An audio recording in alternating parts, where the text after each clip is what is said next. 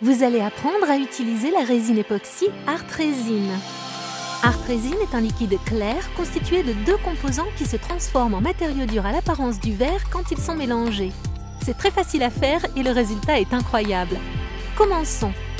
Art Resin convient à toutes sortes de supports. Nous allons donc aujourd'hui recouvrir ceci. Il s'agit d'une peinture acrylique sur un panneau en bois.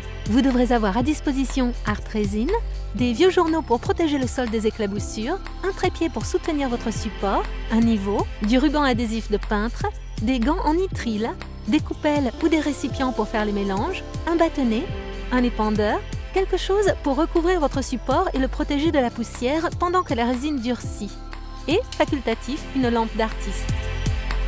Avant de commencer, posez le ruban adhésif sur le dessous du support pour le protéger des coulures. Placez votre support sur un trépied afin qu'il n'adhère pas au-dessus de la table. Puis, assurez-vous que votre œuvre est de niveau. Maintenant, comment déterminer la quantité de résine dont vous avez besoin?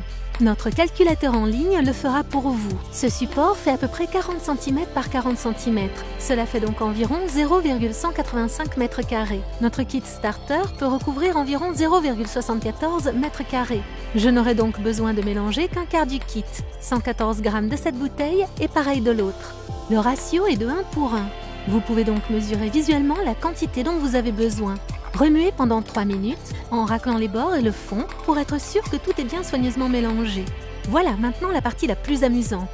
Versez le mélange Art Resin directement sur votre travail. Et étalez-la. Nos épandeurs dentelés sont super pour ça.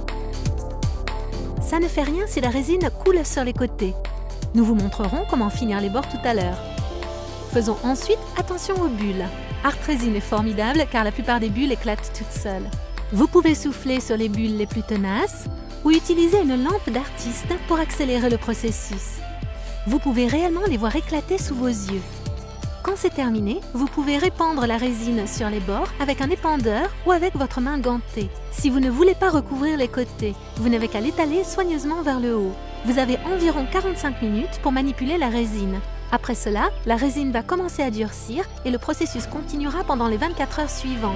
Recouvrez-la alors d'un carton et attendez patiemment. Nous voici au lendemain. Regardons à quoi cela ressemble.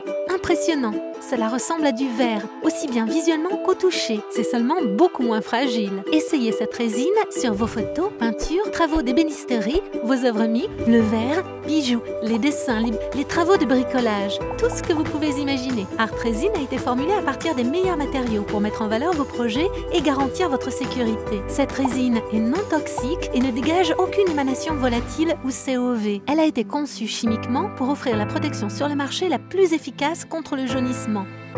Alors, laissez aller votre créativité.